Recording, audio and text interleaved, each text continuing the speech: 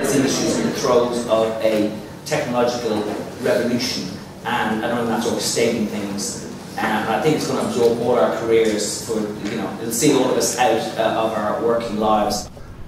Just to kick things off this morning, we're going to look specifically at, at form factors and design.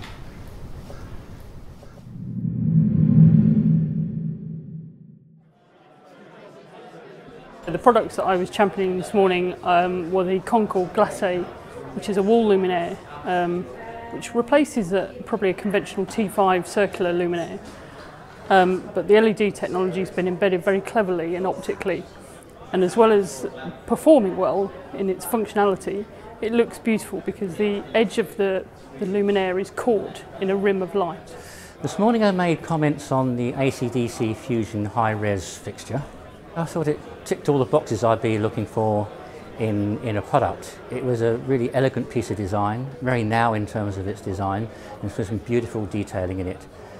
Um, it. It's designed obviously specifically for LEDs. I couldn't see how you could put any other light source in that, in the way it was very slim, it was done. And on top of that, um, it was also a very intelligent fixture. There was all sorts of electronic controls that um, you couldn't really apply to any other light source. They're, they're always functional um, issues one needs to deal with in luminaires. But new technologies come and go, but, but, but light is still light, buildings are still buildings, people are still the same, eyes are the same, so those things just never change.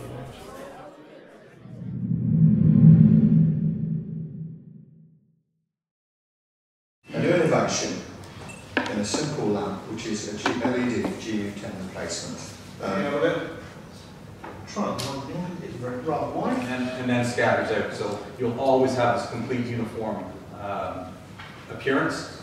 Uh, my favourite product was the remote phosphor. Um, David showed it last year um, and was very impressed uh, with the moulded products that he was producing, but kind of told him that it needed to be white. They needed to do something about seeing the yellow thing in front of you would put people off, certainly in the domestic market.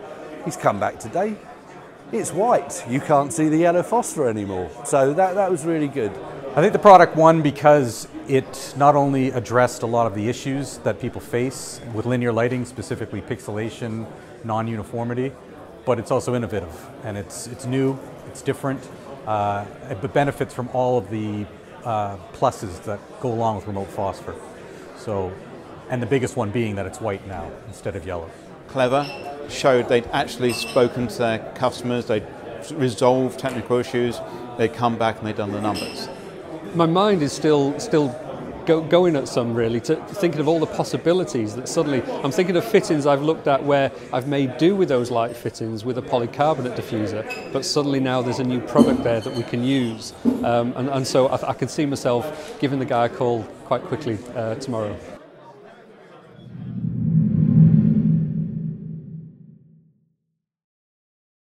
I think the discussions today have been really diverse and really interesting and it, has been really exciting to see that the language of lighting is changing, you know, and, and that the importance of thermodynamics, the importance of um, how we design fixtures, you know, and actually having a, having a forum to debate that has been really, really important. But when, but really the, the biggest, uh, the best opportunity is really to debate things like Zhaga and, and how we're going to standardize this industry. What we designed uh, to enable that is uh, uh, a range of uh, building blocks, just a few modules, talk about 11, and uh, a bunch of drivers. When uh, hook up as a system, it allows you to cover the whole and change over from fluo to LED, the whole linear fluo portfolio. LEDs are, are basically electronic components, um, and tomorrow's systems are going to have wireless, embedded processors, software. This is just like TVs, set-top boxes, consumer phones, gadgets. So those are the kind of companies that I think the lighting industry really needs to kind of pay attention to. 3D printing is the future. Um, in my view, there'll be two sorts of companies in the, in, in the future. There'll be the global and there'll be the fast. 3D printing fits into the fast, it fits into the London design community, it fits into digitization from beginning to end it just reinvents everything. It's good to see a vibrant industry whereby um, the industry as a whole is coming together to discuss its issues it's great to be able to bring together at events like this all of the people who are involved in designing and producing lighting products. Uh, it's a very exciting time uh, for them. It's a very difficult time. There are lots of lots of challenges they've got to deal with to do with uh, how to use new technology, uh, to do with standards or the lack of standards, uh, to do with uh, warranties that you place on LED lighting products. there's plenty to talk about, and so there's really a lot to be gained from coming along to an event like this and uh, learning from your peers.